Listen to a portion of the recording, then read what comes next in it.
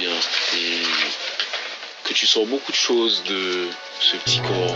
Je comprends ce que tu me dis. Franchement, ça sonne comme une évidence. Je suis très contente. Ouais. Je sais que c'est un échange mutuel. Ouais. Tu m'as tu me fais confiance. C'est pour ça que tu arrives à extérioriser certaines choses. Oh, bah ouais, Je si. suis ravie pour toi, vraiment. Tu peux être fier de aussi. Merci. Franchement, Yannick, je vais pas te mentir. Depuis que tu me suis, je vois l'évolution.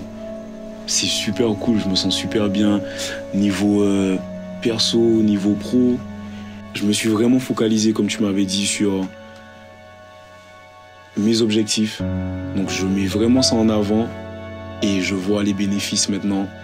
T'as vu, regarde, on est au studio, je viens d'enregistrer mon premier album.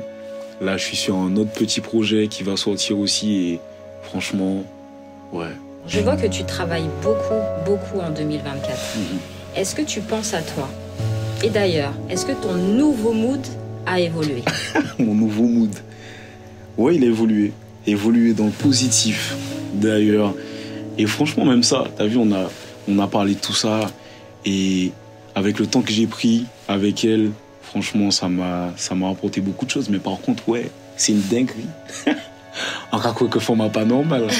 En cas quoi que ma pas normal. C'est chaud.